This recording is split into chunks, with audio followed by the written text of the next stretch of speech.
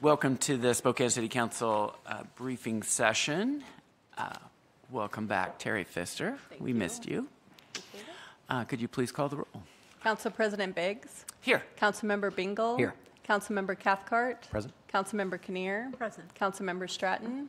Here. Councilmember Wilkerson. Present. Councilmember Zappone. Here. Let the record reflect that all council members are present.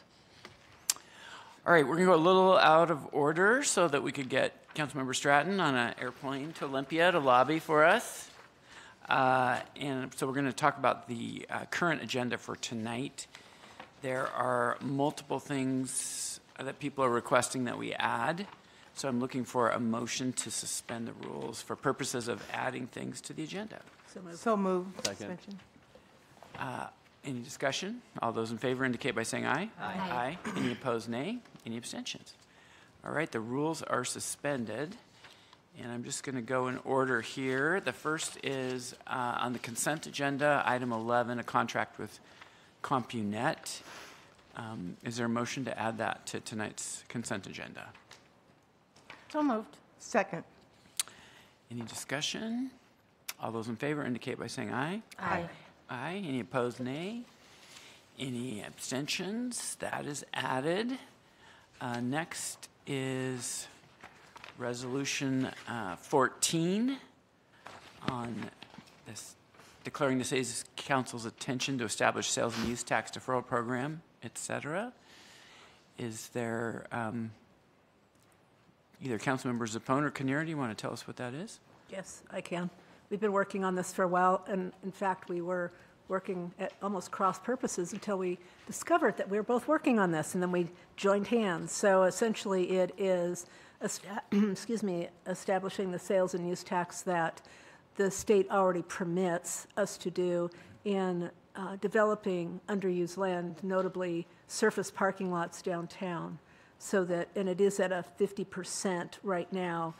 Um, Our legislators said the best way to move this forward was to um, uh, pass a resolution, so if it needed to be adjusted, either um, downward and create more of a um, incentive, then we could do that. But our first step in getting this going is to pass a resolution as a city. Yeah, I would just add to that, the resolution sets up a hearing for the end of the month. Yes. To do it. So that's all this is doing, and then we could implement the ordinance to establish the Okay. pavement to people program. Okay. Thank you. All right. Is there a motion to add it to tonight's agenda? So moved to add. Second? Any discussion? All those in favor indicate by saying aye. Aye. Aye. Aye. Any opposed, nay? Any abstentions? All right, Resolution 14 is added. Resolution 15 is uh, a precatory action before actually talking about a contract, which is under special considerations. So there's currently a contract to help do space analysis for the and feasibility on the Premera building. Um, This would uh, allow us to expand the scope of that contract. Um, I forget how much more money it is. 20,000? If you shout it out, I'll tell you. I'll just do it. More. Okay, so it's 26,000 and some change more to do it, but it's going to also include uh, feasibility of um, moving uh, City Hall uh, over there as well as a potential. There's a lot of space over there. So it's just all feasibility. There's no decisions about what's going on, but we're trying to get the most data possible during our 90-day feasibility study, which is halfway over. So again, this isn't the contract. This is just the resolution allowing us to sign the contract without putting out for a re-RFP and things like that. Councilmember Yeah, I just, I, I think the description's slightly misleading because while I think it's, it's expanding the scope to look at this building as well to see, yes, could, could certain services and departments here work there, but it also get, just gives us the data we need to see, you know, what the status of this building is and can, can we make some better decisions even with this building or in terms of looking at other uh, properties. So it's not specific to the Premera. Right. But it doesn't look at other properties either, just the Premera building, right? At this, because that's the only one we have a purchase and sale agreement on. Yeah, so. but it looks at this building. It builds on the same, if I understand, the same organization has been studying all our space utilization here, and so it builds on that work. And, and, uh, but I don't think, there's nothing in this study that compares it to another building, a third building. No. But it would allow us to do that work. Yes, it does. So it, it looks at uh, different departments and it looks at uh, three different levels of finish. And it says, okay, based on the three different levels of finish that you need, whether it be for courts, council chambers, um, or just general office, cube farms, or actual office, finished offices, this is approximately what you're looking at on a per square foot basis to pay for that renovation. Yes, it's currently at the Premera, but you could also uh, trans- easily transfer that into another blank canvas, whether it be a downtown location, a fresh build, et cetera. Gives us options. Councilmembers Yeah. Pung. and- Yeah, so I think there's a couple studies that's been making confusing, but I want to clarify a couple things. So this vote for the future contract under special consideration, but essentially now's the time we're talking about it. Yep. Um, is from our last Thursday conversation, which only expands the scope of the current Integrus project at Premera to include City Hall, nothing else. That, that is correct, yes. Uh, In discussions with uh, the Integrus folks, uh, it would take, based on some of the information that they have, if we were to add on top of that, we're look, right now, we're looking at uh, about a seven-week window of what the work would be uh, to finish just the, the uh, scope of services with uh, courts as well as City Hall uh, departments moving into a space like the Premera facility. If you were to add more, you would be looking at approximately a 30 days. Right now, we're in the, uh, the feasibility study period, as Council President alluded to. Uh, We're, we're more than halfway through, and with seven weeks, we're at, looking at 49 days left to complete the contract once signed. Um, And we're, we're already past our 45-day mark that, that lapsed on Thursday. So as a follow-up, it does not include what it would look like to have police move out there or other city departments, and it does not include the separate study that Integrus is doing of utilization of City Hall. It just uses the idea that City Hall is underutilized, but it doesn't say what are the options that we could do at City Hall in this building. No, no, no, that, I, yes, that is correct. But that's covered somewhat in a different study. That is covered somewhat in a different study. Uh, Right. The, the overall, as, as I believe administration has mentioned uh, many times, is that, that that study, the facilities you should study, is currently in its draft format, in its initial, in its infancy of its uh, data that it has.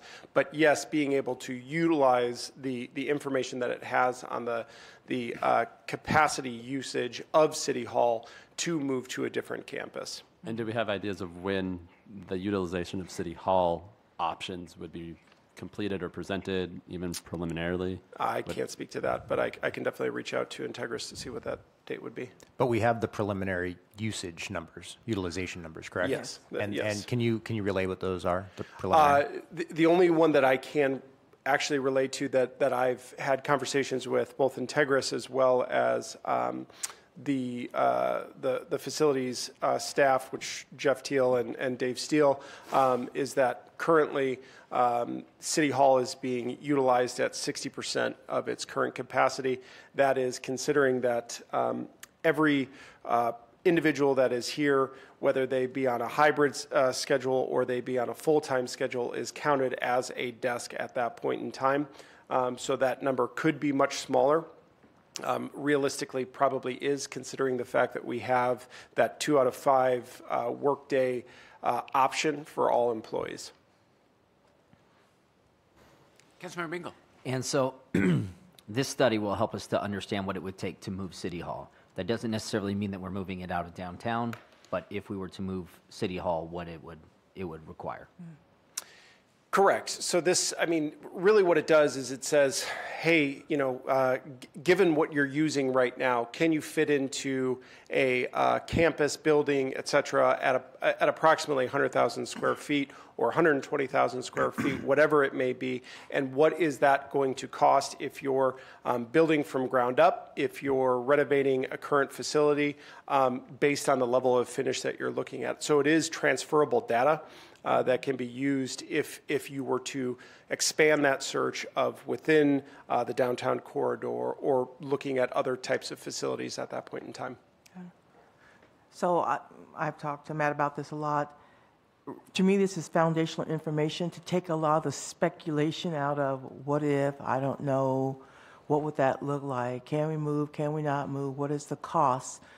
I believe if we get this study, it'll be foundational, and then wherever we decide to go, to stay, to go, to go somewhere else, this would be critical in the decision-making process because right now, to me, we don't know what we truly don't know about what the cost of this building is, what the future looks like uh, in the workforce, and what our needs will be as a city. And then looking to me at the whole financial picture of underutilized space and cost going forward, I think is something we have to actually educate ourselves on and be prepared to make some tough decisions. And I personally could not make a decision without some additional data to build that on. So that's why I'm leaning in that direction. Councilmember Zappone and then Stratton.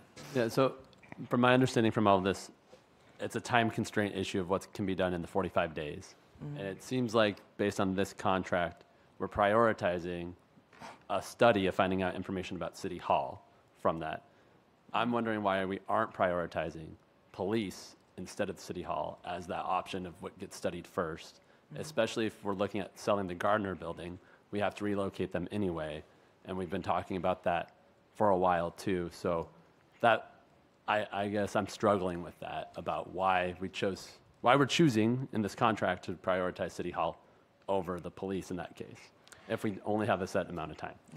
And Well, I, I guess I would just say too, I mean, I think there are, and, and you're right, this whole thing started in my mind because we were looking initially at police and courts, and then it migrated to courts, and now it's migrated a different direction a little bit. But um, I, I think part of the question I have in my mind is what exactly is the needs um, for a, a new headquarters? Because one, I think we are moving uh, smartly towards more pre- a precinct model, which I think spreads us out.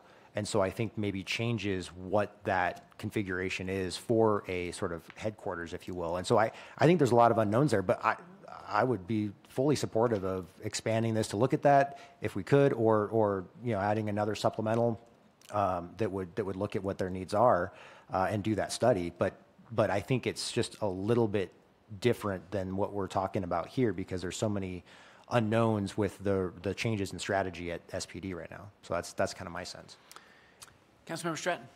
So uh, this is my reality. Tell me if I'm wrong. Okay. So what this is, we're, we- this is a study that is really specific, though, to the Premera building, to this one building. And my concern and my frustration and what I'm struggling with is, so we can do this and spend the 26,000 and add it and get that done. So let's say we get a call from the owner of the building on Washington and Boone, which is, got a lot of space and 900 parking spots. Mm-hmm. E- If that, if we get that call, we're going to have to do the same kind of thing, right? It, it, it's not that we could take what was part of this study and apply it to a different building. That's what I'm struggling with. No, that's correct. But I, I would say that um, in th- this study, whether it be simply for courts or for both courts and uh, for City Hall or both courts and police, at this point in time, the level of this study is very, very high, meaning we're floating at a 30,000 foot view to say, can these departments fit in this building and roughly what is it going to cost based on the level of finish? Not saying, okay, um, This is into the details, design, build, uh, going out to bid on, on specific contracts, et cetera. It's, it's looking at a, at a very high range, saying this is roughly where you're going to be at based on what you're looking at. Now, yes, I, I believe um, if you were to look at Premera, which is the Premera campus, which is a, is, is a relatively new building and campus, all three buildings are relatively new, versus something that is like City Hall, for example, and is a 110-year-old building, it, the, the, the, the costs that go into it are going to vary significantly. But that will need to be done even if you go into the Premera purchase thinking um, this is, you know, going to be the new police precinct, or the new- police headquarters and courts uh, building, or it's going to be the new city hall and courts headquarters, because they are going to have to get into the details of what exactly that cost is, not high level. They, it is going to take anywhere between 18 and probably 30 months just to design, build, et cetera, on this. So it's not a, hey, this is the exact answer for just Right. this building. I mean, we're going to have to make a commitment at some time. Right, so this, this is just giving you that information to say, are you willing to make that commitment on this building, given the information that, that Integrus, we, Integrus is giving you of baseline estimates of this is what it would take for you to um, fit all of the departments that you're requesting us to evaluate into this uh, facility based on the, the, the current specs that are, that it is at right now. Okay. But I, just to follow up, I think if the building you're thinking of, the Walworthy office. I- It could be any But building. if it was that building, that's closer to the Premera building. I mean, that's similar. So it's not that none of the information from the study could be used. It's just that it would have to be, But we'd have to do another. there would be, have to be some, but there's going to have to be regardless. Even if we buy the Premera, we're going to have to do that fine tuning. So I, I, I don't, it's not complete apples to apples, but maybe apples to pears. Uh, Okay. It's a, so. Gotcha. Councilmember I was just going to say, I, that's still speculative, what potential properties may be available to us in the future, and then could we afford those properties at the time they come on the market? So I still think if we were to look at another building, we're going to have to invest some money up front for a feasibility study there as well, because we're not going to spend millions of dollars without doing a feasibility study on the building. So at this point in time, to me, it's information gathering to help us make the best decision to buy or not to buy this building as we go forward. Councilmember Bingle. Sorry, real quick. Washington and Boone, are we, what building are we talking about? Rock Point. Rock Point. It is Rock Point? And is that just a wild rumor, or, should- or is there? Yeah. There's some possibilities. Really? Okay. Yeah, I mean, th- that's, that's why I'm struggling with this. And I'm also struggling that if, if we, I also know, I think we all know, the pressure is, is that municipal court can't fit in that entire building, or they can't fill the entire building up. Right, right. And I totally support um, municipal court being in that building. But do I support moving forward? It just feels fast and, you know, talking about putting City Hall in that building, I'm not sure. So if I say no to that, am I saying no to, to municipal court? I mean, if we say no on the study, it just takes the city piece out. Um, Courts can still have, could still work that building, right? Yes, I mean, uh, the, the, I mean, from, from the, from the uh, viewpoint that can they fit into that building? Right. Yes. Is there other financial implications that we need to evaluate as a city before we make that move? Yes. I think that's where um, this conversation kind of uh, just transferred into. I mean, it, it just, it just morphed into this conversation of how do we maximize the space that we currently have or that we are going to be purchasing. Let's not have empty space um, because there are only a finite amount of resources and taxpayer dollars that we can utilize upon. So let's not um, go into a, a, a purchase of a multi-million dollar building, not utilizing that space completely. Uh, Is there hypotheticals out there of, can we lease that space out? Can we get other departments to look at that space? Yes, tho- tho- th- that, those questions have been thrown out there. Uh, But again, just as I stressed on Thursday, those at this point in time are hypotheticals. Um, We, we really need to get into the, the reality of can we fill that space? And if we are filling that space with our current departments, what are we vacating? What are we, what are we uh, creating a less utilized space? What building or facility, whether it be uh, City Hall, say if we're taking, you know, 15% out of City Hall, now we're less than half percent of that, or half of the utilization of the City Hall space if we were to move 15% of that workforce over to the new facility. And then we're sitting at two buildings that might not be 100% maximized. So that's, that's, that's the thought of, of looking at, hey, can we fit the space-wise into that? And that's, that's why that question was asked. Well, and that's why, I, that's, that's my, part of my heartache is, we know the police department, or I have heard the police department said no to the space. So they've said no to the space. So the next likely um, candidate for that space would be City Hall, right? And that's where I'm having, I'm struggling a little bit with that. Yeah, I don't, I mean, I don't, I, I wouldn't take it as necessarily the next, next likely candidate. I would just say it- evaluating it to see, um, is that, a uh, is that a space that, that City Hall can fit into? And really, from a high-level perspective, again, what would that capital investment be?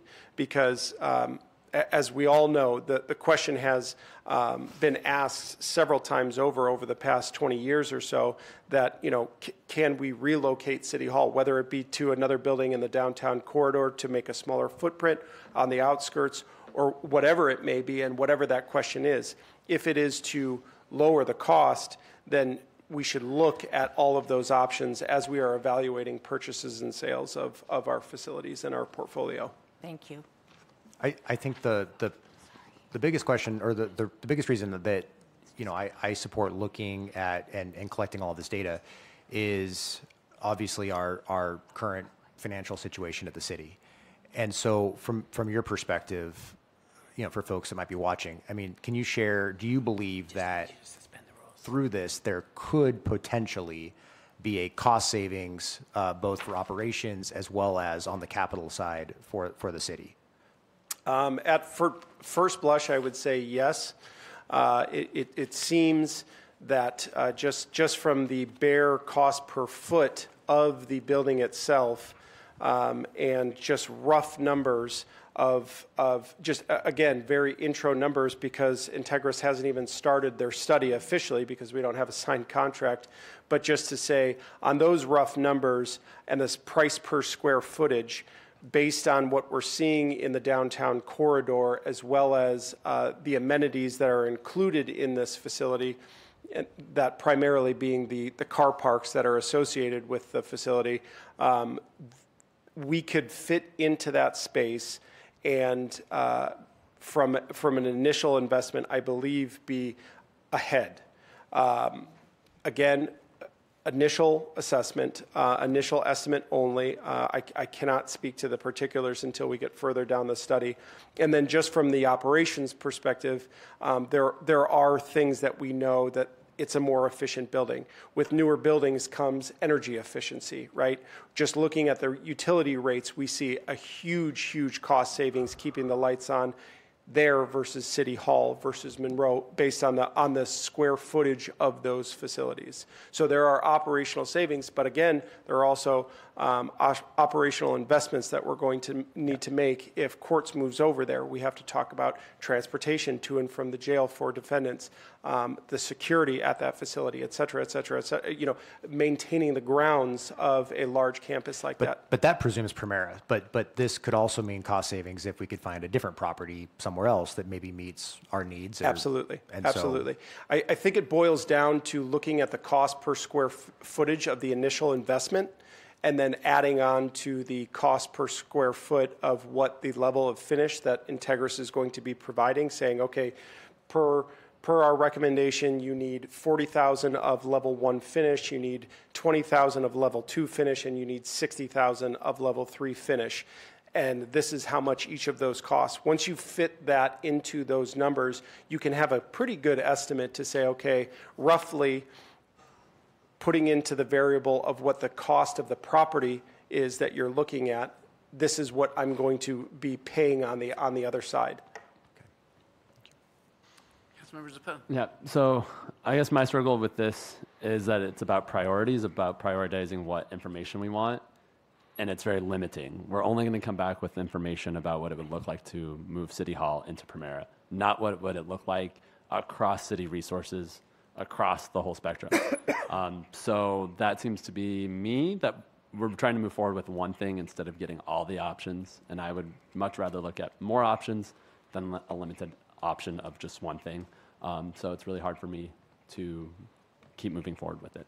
It's, it's challenging, but this, this has been part of the frustration of the process is because there's been a lot of resistance to looking at anything. And so here we are, we only have a few days. We don't have time to do that. But it doesn't preclude us from doing that. If we purchase the building, Yeah. we can look at everything, including wastewater. There's a wastewater building not very far away from there. I'm like, and I haven't, I don't know how many people are there and how much truck parking they need. I mean, but this doesn't preclude what, what you want. It doesn't, it gets us some more information, but uh, I guess, like, what, what would it look like to prioritize that in the last 45 days instead of the cost of what it would be to build a city council chambers there versus a utilization of space across city departments? Well, that's, that- that's currently, that's currently taking place. So that space utilization across all city departments, this, the, the purchase and sale of the Integrus throws a wrench in it. And to, to say, okay, I'm going to take all of uh, City Hall, or all of this uh, City of Spokane's uh, portfolio and then piecemeal it into this, into this uh, Premera campus, it would take much more than 90 days to look at all of those going into that. But the overall study, if you take the Premera piece out, is being evaluated from uh, administration's perspective, and that's that's the that's the facilities utilization study that they're doing right now, and that's what they're looking at. So it makes it just difficult uh, under the timeline. I guess what I'm trying to say though is I would prefer a high level, like, here are your options in this building, rather than here's one option in this building that's supposed to help us decide if we want to purchase this building. If we're trying to decide if we want to purchase this building, we should have kind of an idea of all the options, not just one idea. So I, I get it's a struggle, but yeah, I just don't know how to do it in the time frame. I, Yeah, I don't yeah. disagree with you, but go ahead. Well, I, I wonder, could we uh, essentially prioritize it in such a way that, that the study is looking at those elements specific to this building uh, first, but we expand the scope to continue beyond the 45 days uh, to, to look specifically at, at this building for broader uses? Is that something that would, that we could do, like a supplemental to the supplemental, uh, to, to, to expand that, you know, prioritizing the data that, that would be needed to make a good decision on that building, uh, but then also continuing on to collect the additional data on this, on the, the uses here. But the challenge is we have a window of time uh, that we put our down payment, our earnest money in on the table, correct? But And I think Councilmember Cathcart's saying, okay, we, we're stuck, so we sign the contract tonight, and then we start working on the, the next amended Right. version of it to cover both of what you're talking about. Which would be great, but if we're not going to agree to uh, go ahead and purchase with our earnest money in the time frame, unless somebody told us we've gotten extended, we still have to make, it- that happen. conversation's happening? Yep. Okay, great. One one last thing I think. Um, I'm trying to understand the draft of the utilization study that's been going on, and what does a draft mean? If we're using this as a foundation for kind of making our next assumption, does that mean we can confidently say the current numbers are using it in the draft, or are kind of what going to be the final numbers, or is it still in phases of utilization or uh, phases of study, and that Right. number might come back in a different way? Uh, from my understanding and talking to uh, Integrus as well as uh, facilities, is those uh, numbers have a high degree of certainty to what there will be in the final report. Um, the the reason that they are considered draft is because there are many phases of the report that that need to be finished before that report is issued. Again, this is something that I can just speak to on a very high level. I would recommend. I believe it is uh, Tanya Wallace um, or uh, Jeff Teal that is probably running this facilities uh, utilization study. And i- if you have specific questions for that, they would be the ones to answer. N- a- And I'm just giving generalities of, of what I've heard and what I've known based on my conversations with Integrus. And then I would say we should have, ask Jeff to come answer those questions for you, because, or Dave Steele, or, yeah. I don't, I think that's really out of Matt's scope Yeah. For those well, questions. I think it's important for our, Absolutely. the assumption that we're making here that So we let's- assume that the assumption is correct. Yeah. I guess it's Let's kind get of key. Mr. Steele down here then, Yeah. or Teal. Steel and teal. All right, S and T. you're just trying to carve time off for tonight's legislative agenda, but is there a motion to add Resolution 15 to the agenda? So moved. So moved. Second. Okay, it's been moved and seconded. Is there any discussion? All those in favor indicate by saying aye. Aye. Aye. Opposed? Uh, Nay. Okay. All right, I think the ayes had it. Any abstentions? Sorry, okay, ayes had it, so it's added.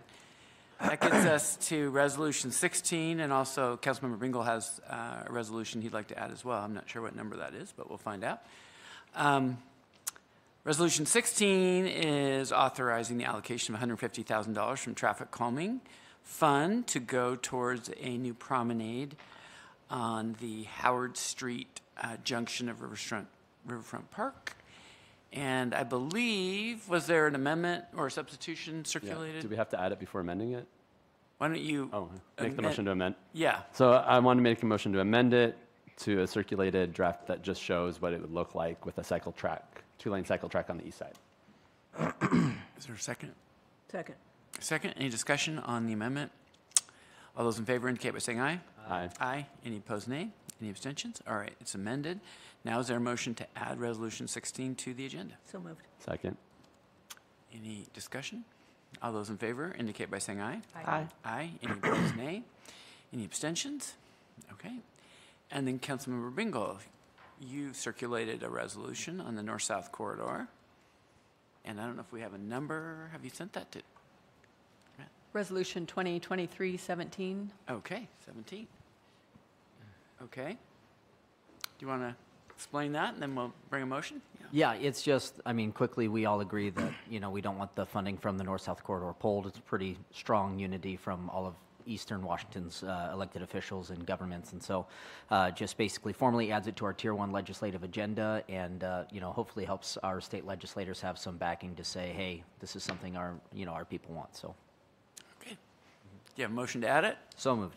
Is there a second? Second. Okay, it's been moved and second. Any discussion? I, I have an amendment. Would you prefer that come after we add it to the agenda?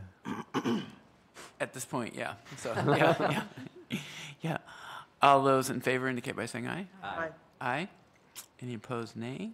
Any abstentions? All right, you have an amendment, proposed amendment? Yes. Uh, So this was sent out earlier today, I think in advance of our, our 1 o'clock um, cutoff. Uh, So this just amends the therefore be it resolved, and I will just read the, the whole thing here. Uh, Now therefore be it resolved, the city of Spokane requests the Washington State Legislature maintain the previously approved funding, but expedite the allocation timeline to speed up completion of the North Spokane corridor and fully fund the project to its completion prior to its current completion date in 2029.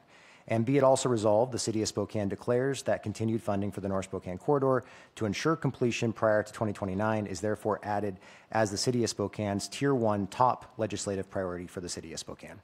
So uh, um, my amendment effe- effectively calls for making this our top priority, but it also um, doesn't just advocate that we maintain the funding, but that we actually expedite the process of completion, which has been what we have been asking for the last two years.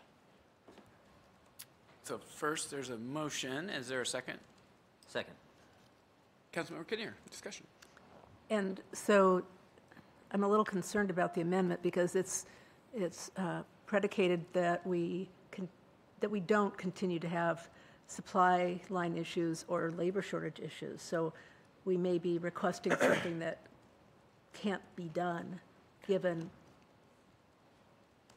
Sure. you know, So I, I guess what I'm, what I'm calling for is that it's, that they speed up the funding mechanism.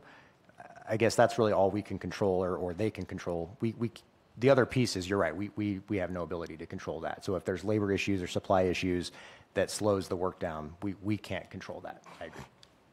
But we can, but we can encourage the legislature to speed up the allocations to make it possible.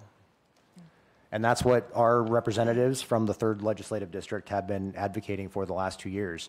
I know they both have, or all three of them have, have tried to um, expedite. And so it wasn't until this year that the idea of possibly losing the freeway or, or a, a significant delay of the freeway was even conjured up. And so I just, I don't see any reason that we should back down from, from our our thrust of trying to get this thing do- done ahead of time, especially when you think about all the other implications for East Central, for Division Connects, for everything. I mean, there is a lot of reason, uh, a lot of benefit for the entire community to getting this thing done sooner than later. So, And I don't, I don't disagree. I just want to make sure we don't set expectations that just because they prioritize funding, that all of a sudden magic's going to happen, and we're going to have lots of laborers and supplies. So agreed. So that's that's my amendment. Councilmember Wilkerson. I'm not opposed to the uh, resolution or the amendment. I do want to say that we know our legislators have been in support of additional funding and to expedite it. We also know that STA has been supportive. We also know that the Spokane Regional Transportation Council, which ma- is made up of the area municipalities and other government entities, have also sent in a resolution uh, supporting the funding of the north-south uh, freeway. So there has been regional support for this uh, all along. We know the governors kind of did a little backpedal on the funding issues. So we can pass this. I don't know if it will really bring any more weight to bear than what's already been put out there. If this is a level of redundancy, and we're just kind of late to the party as a city council, but our support for the north-south corridor has been uh, expressed in many levels going forward. So I just want everybody to know that that support is already out there uh, in many shape, forms, and fashion. And just to note, it is on our Tier 1 legislative agenda, but in a more general fashion. So this just clarifies and focuses. Now we have new information that there was some risk of delay, which we had no idea. So this does that. So, all right, Councilmember Bingle. And that's, that's it, because as you say, I mean, again, near universal support, I, I can't think of any one person who has, who has opposed this that's in that position. But again, it does just formalize our support going from an informal thing to a, to a formal statement. And, uh, yeah, I think that's the point. Councilmember Zappone. Yeah, I just had a question about the language used in the amendment. Um, I'm just wondering how come it was like, we're going to advocate for it to be done earlier and not say on the 2029 or earlier, but it's more like, if you do it in 2029, we're not happy with you. Sure. And so I guess that's, That's- my, my concern. It seems a little aggressive, I guess, when we're like, hey, please help us, but also give us more than what you already Uh, promised. R- rules are suspended. I would I would take a Friendly friendly, amendment? amendment. All right. So you have an amendment to the amendment. Oh, he takes it as a friendly. Like, I didn't word that, but yeah. And So- so while you're doing that, substitute the but, get rid of the but in there and put and. Would you like to make the amendment? No, go ahead. Okay. It's just better so English. amending it to say previously approved funding and expedite Yes, the allocation Yeah. timeline to speed up completion of the north-south corridor and fully fund the project to its completion um, in 2029 or earlier. Okay. And then the second one would be ensure completion in 2029 or earlier. Okay. And can you, that's great. When you get done, Write it. email it around Right. to And then everyone. keep it therefore added as the city of Spokane's top Yeah. one top legislative. Okay. Okay. Uh, taken. There's a friendly amendment. All those in favor of the friendly amendment to the amendment indicate by saying aye. Aye. Aye. Any opposed, nay? Any abstentions? All right. All those in favor of the amendment as amended indicate by saying aye. Aye. Aye. Aye. Any opposed, nay? Any abstentions? All right. Um, and we voted to add this to the agenda already? Yeah. Yes. We were just amending it. Okay. Serves me right for doing it differently on two different ones. Okay. okay. Uh, all right. So then that brings us to special considerations. And again, I think we've debated this or discussed this, this extensively, but it's adding the actual contract with the um, expanded scope uh, to the agenda. Doesn't mean there can't be more discussions between now and 6 p.m., but this would just add it to the agenda. So is there a motion to add it to the agenda? So moved. Second. Okay, any more discussion? All those in favor indicate by saying aye. Aye. Aye. Any opposed, nay? Any abstentions? Okay. All right. Now, Mr. Piccolo has been waiting so patiently to brief the advanced agenda. Uh, Take it away. Before we leave the current agenda, did you want a briefing on the contract item number 11 with CompuNet? We might as well if our person's here. We have Raylene Jeanette, I believe. All right, come on down, Raylene. Good to see you again. This is for the, is that what you were saying, Mike? Yes. Okay. Yes, um, thank you, Council President and council members for looking at this, um, uh, request to suspend the rules. Um, this is for the Nutanix system down at the treatment plant. Um, it's been in our budget plan for this year. Um, we had a little mishap, um, down there and very worried that we've got it back up kind of running. Um, so we, we were trying to get supply chain issues on all those things to make it so we can try to get this as quickly as possible. Um, so we don't have a failure down there. Anyway, it's, uh, it's for the uh, SCADA system. Um, as part of the plant, um, brains of telling how telling the stuff to work, um, and it is. Uh, I got this right. It's with um, Com- uh, CompuNet, and it's for uh, three hundred and thirty-nine thousand five hundred and ninety-six dollars. All right, any questions? All right, thanks. Thank you. Don't go far. We have you doing a few more items. So on the advanced agenda, the consent agenda, we have first item, a number of purchases in the, for, of wastewater products. Uh, Numbers, uh, number one, A, B, and C, and we have Lauren Searle who will brief those items.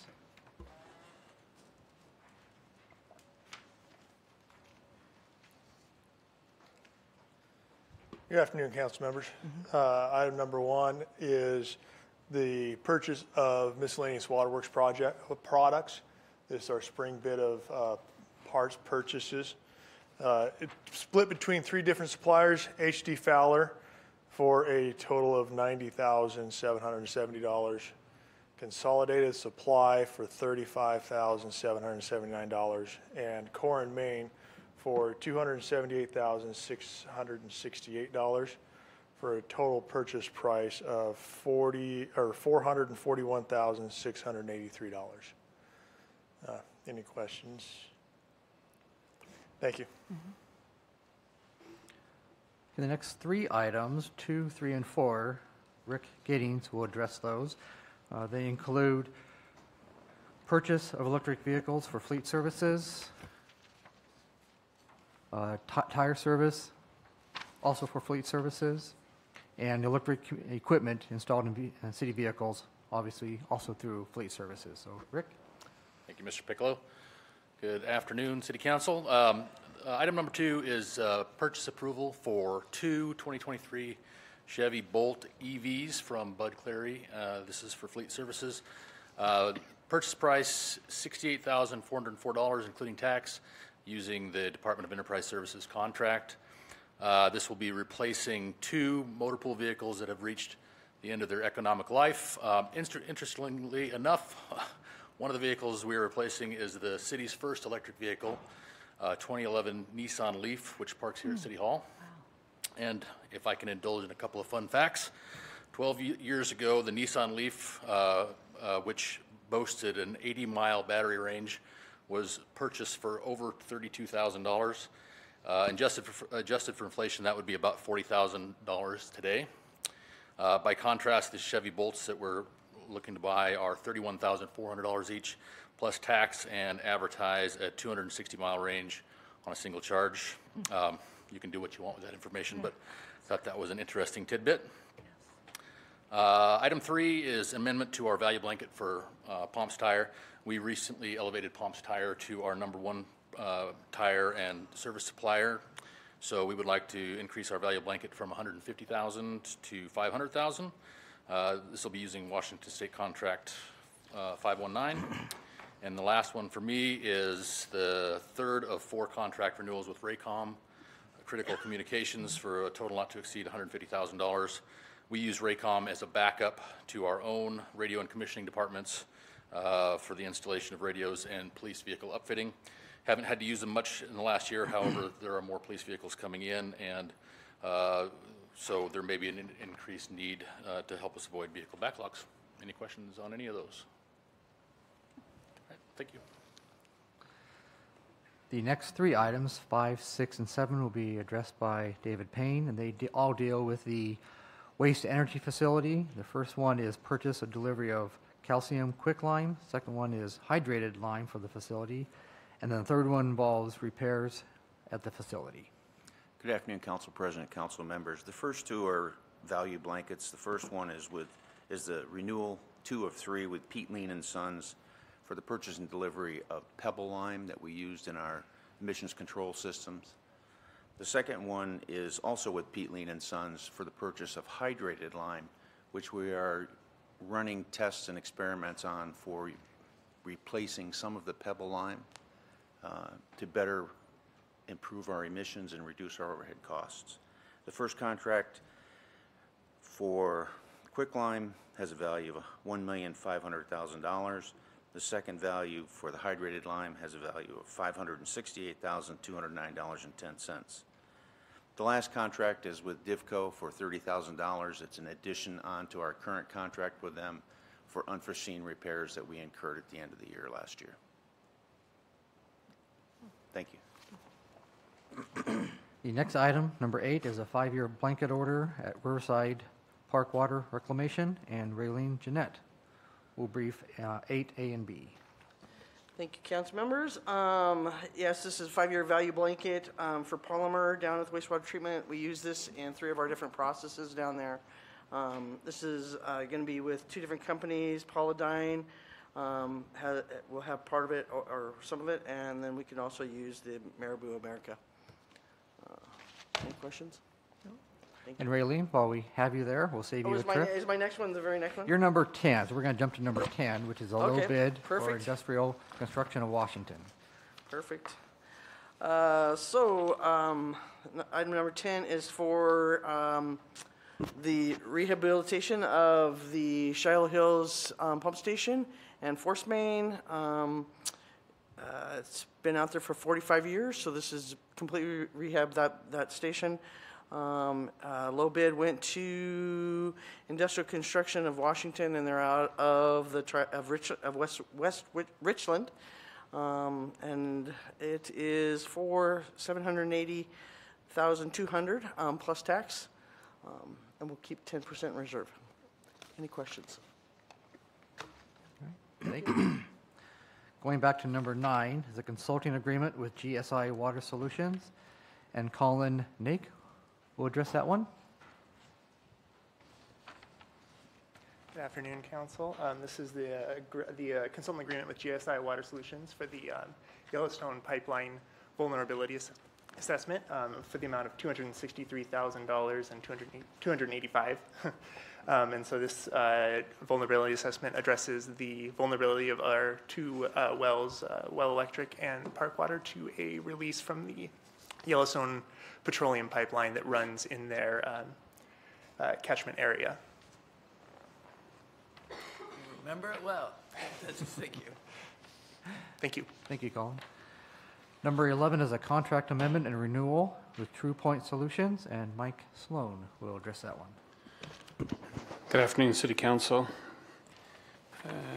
Item 11 is on behalf of the Planning Department. It's a re- request for renewal, uh, one of four with True Point Solutions LLC. True Point provides professional services in the support of the Accela based on business changes and or enhancements that staff, um, city staff is unable to conduct or Accela doesn't provide that service. True Point has been a a contract service for the last six years, and the request is uh, for uh, not to exceed 100,000. Uh, Over the last five years, we averaged about 26,000 per year. Uh, Whenever we see a big change that's coming to sell upgrades or enhancements that we need to add, uh, and that's why we typically come in with a request for $100,000. Thank you. Number 12 is a placeholder holder for the report on the mayor's claims and payments. Number 13 is a placeholder for the council meeting minutes. Going to the legislative agenda on special budget ordinance. First one will be presented by Councilmember Zappone, dealing with public safety personnel funds. Um, this is just about the, um, what's called, mobile camera, um, and establishing the funding for that. That's okay. Oh, and Council President, I did forward the information you sent to the police, and they said they were looking into it, but don't know if they will send anything back. But it is only a one-year pilot. So that gives them a year, a year to figure out something else for next year. Not a hill I'm going to die on. But I think we could get a lot more cameras for that if we just Yeah. put in our system, but. The next item is the, under emergency ordinances, uh, ordinance number 36259, dealing with conduct of collective bargaining, and Council President Beggs will brief that item.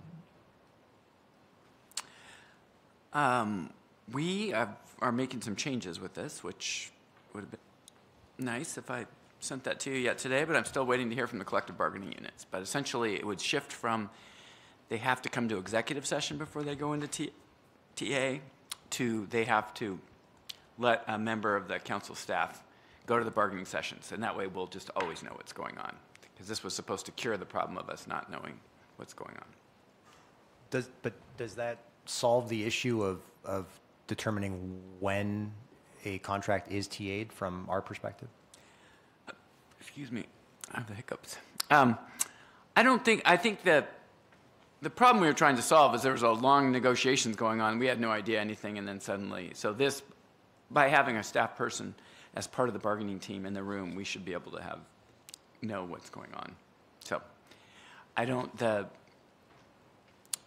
labor unions and the administration explained to me that is very challenging the way the ordinance was worded because they tend to, if I understand it, I haven't been to their sessions, but they tend to TA sections of the contract along the way. And it's only when they get to the last one that they come to us. And so they feel like they need the certainty for the first 20 clauses and that having to come to us every, every time ahead of time would really be problematic. And I accept it, at least for me. And so you'll see some language. I'm just waiting to hear back from the unions.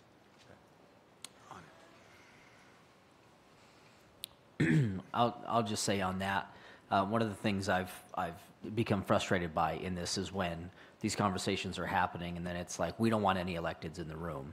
Um, that has excluded us from discussion on Camp Hope um, when, you know, it greatly affected our, what was our district at the time.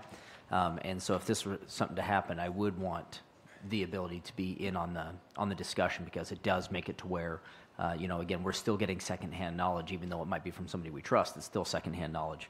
Um, and so I don't know if there's any language we should work out. there. Well, there's an issue there. Right. And you can talk to our lawyers Sure. off, offline, but the issue is there's an argument out there that if you were a council member as part of the negotiations, then you couldn't vote on it. So. Right. That's, that's a, I don't know the exact parameters of that. Mm-hmm. So before we do the final, let's get that clarified. Yeah. So, but you were brought into the conversation on one of the police contracts. Would I that know. not have, so where's the lawsuit on that? I don't know. I'm, I'm, I'm not, it's not my field of law. So, but I'm just saying, the administration raised that issue with me. Okay. So that's why I haven't, that's why I put it in the way. But, but please talk to city legal about it, because I'm not sure. On to resolutions. Resolution 2023-0012 regarding supporting the establishment of the Spokane River Watershed Salmon, Salmon Lead Entity. And council staff member Jacoby Bird is ready to go. Hi, Council. This resolution was briefed to you all at PIES last week from Connor Georgie from the Spokane Tribe. It supports the establishment of a Spokane River watershed salmon lead entity, and if supported by you all, would allow you guys to participate in that group. And this is ultimately resulting from state legislation that asked for local leadership in developing the plans and actions that would need to occur in order to introduce salmon back into the Spokane River watershed. Yeah. So the, the funding is coming from the West Quadrant TIF, is that correct? That's the next thing. That, no. Oh, okay. I was No. reading the wrong part. Okay, never mind. Keep going. And uh, quickly on that, it establishes the Spokane tribe as the lead entity, correct? Correct. Yeah. Yep. We'd be a initiating government.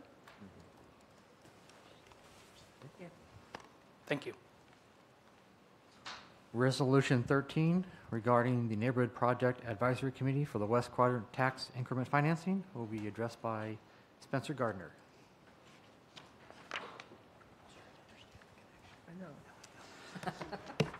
Hello, this is the project that I presented at um, the fin- the Finance and Administration Committee. Uh, Was it last week, two weeks ago? I don't know. I just, Tyrrell just told me that I am, my one-year anniversary is tomorrow. I'd kind of forgotten that, so Wow.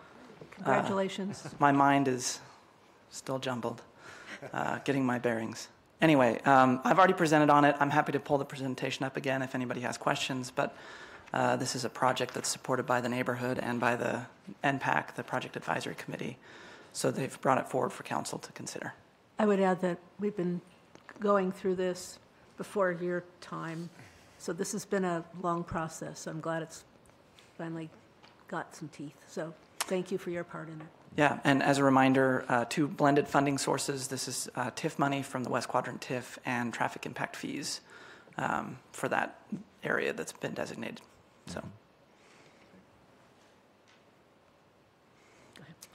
Uh, I would just say it's, it's been a pretty good year. I think you've done a great job for the city, so. Thank you. Congratulations, yeah. okay. Thanks. Thank you. There are no final reading ordinances. For first reading ordinances, ordinance 36356 relating to the Water Department and water rates, and Corinne Morris.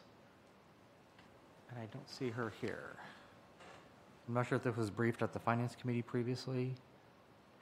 We've had some, we have had, been briefed on this. Okay. Well, I will give her a call and just ask her to make sure that she. And we do have somebody, who is that on the phone up there? Is that her? Okay. I think what it basically does, right, is just make it to where people who are like snowbirds can't have their uh, water rates reduced when they're away. Is that? They can, they can, they can, they can turn it off and turn it back on. Oh, they can't. I thought it prohibited them from doing that. Oh, that. is that? Oh. That, It- It says to charge a basic water service charge whenever there's They water can't. service available. Here, Lauren's coming. Oh. Yay, Lauren. Sorry, this was supposed to be Corinne's. I. Um, The basis of the ordinance currently on a, um, any meter that gets turned off stops the water service charge. The new billing system does not allow for partial rates on, partial rates off. Um, So this would change that, and all water service charges would remain on as long as the service is connected to the water main. So snowbirds or um, a house goes in default and the bank now owns it, it would remain on, the service charge would remain on. The difference within a, a department is we still maintain that service. We still have responsibility for the leak and the issues that are in the road, even though that we're not getting any uh, revenue back off the residents. so are you saying that, that you, that this will make it so that you wouldn't turn the water off if they request it essentially? You'll, would- you'll, you'll We would charge them turn the water off, But but you'll the still charge charge. would be on still, yes. Okay. It's just the water service charge, not, that's it, Not the actual water. not the actual water. Okay. That's because they're not using any water, but, uh, Well, yes, yeah. They're, they're not, they're not using the water. Currently, we do turn the rate off because they're not using water. Right. um, th- Which would remain on in the future. And so let's say somebody who wanted to go uh, to Arizona for a few months. Um, if water is still coming up to their house but is shut off to where it's not going into the house, they're still charged. Could they request that it get shut off at the main to where they don't get charged at that point? Uh, No, we don't have the ability to turn it off at the main. Okay. That would be cutting the road and digging it to be able to turn it off at the main. You can't easily do that? No?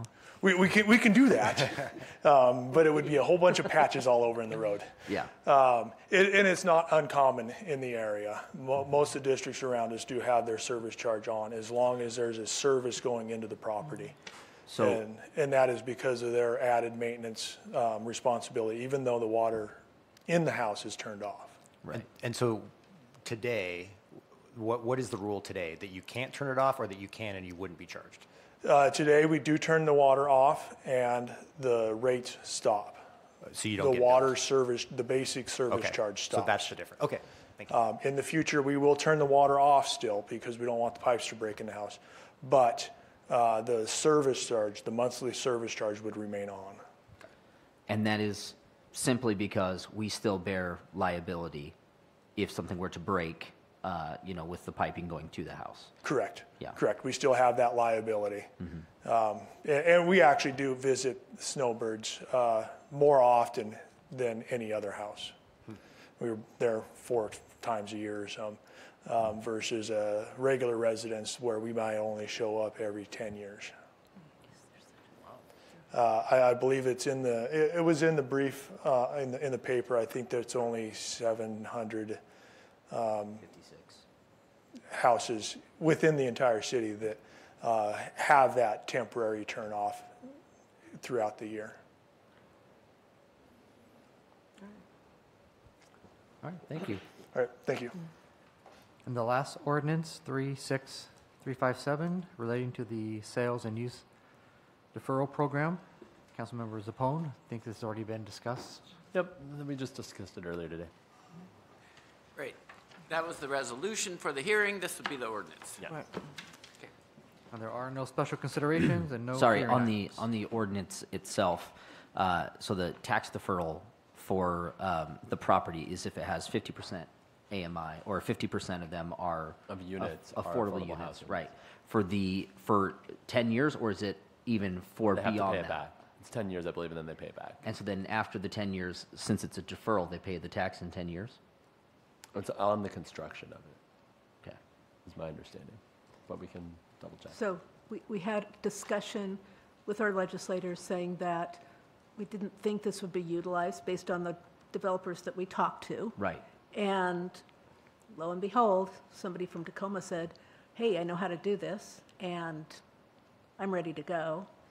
We still want to pass this ordinance because if there's a way that we can amend it, or if there's a way that the legislature can amend it to lower that 50 to say 25, that would be ideal, because there are not that many developers who could actually make this pencil out at 50.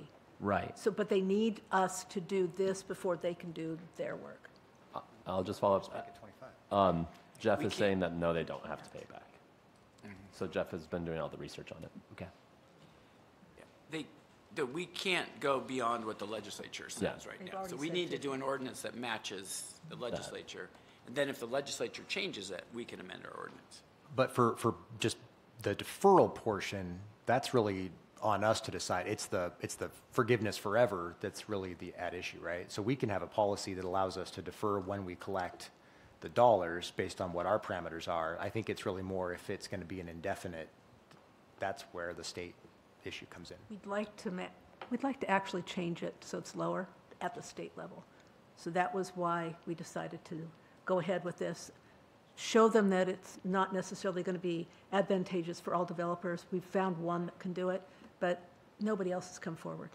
Okay. And this is a developer from Tacoma who somehow knows how to make this kind of stuff work. The only, the only other piece I'd add on this, and this is something that was in the, the uh, infill task force 2015 infill task force's recommendations, which was to collect permit fees um, and, and, well, any fees really at, after the CO has been issued. And so just to give, especially the smaller builders, developers who may not have as much uh, collateral, capital, the ability to, to get it, you know, built, sold, rented, whatever it is, before then paying the, the fees. And so if there's any opportunity to build something like that in here as a short-term deferral piece, I think that'd be great. And we've been looking at other, um, other things that we can do that would be incentives, so that we can kind of layer the incentives, especially for downtown, to build up that um, density downtown. So we've been working with Steve MacDonald and Marlene, what else can we do that would add to the incentives that people could use? So our, I guess, like ideal outcome for us would be an, uh, an affordability component that we're closer to 25% and not 50%. Yeah, because 50% is a lot. That's going to be, that's it's going to be hard to, Yeah. to actually accomplish. But the fact that somebody came forward and said, hey, I can do Sure, this, yeah. uh, I'm interested to see if indeed that person, that developer can. So, yeah. All right. Any other thing for the good of the order? Kind of a robust briefing session. For a short meeting tonight. Yeah, so we've done all our work. so, We've done. Uh, Okay, well, then, we're going to be adjourned. We'll see everyone. Do you want to approve this agenda? Oh, no, I don't, but uh, apparently, based on actions. Is there a motion to approve the advance agenda? So moved. Second. Any discussion? All those in favor indicate by saying aye. Aye. Aye. Aye. Any opposed, nay. Any abstentions? All right, the agenda is approved, and we are adjourned until 6 PM. See, Lori, we do all the legwork here, that way the meeting later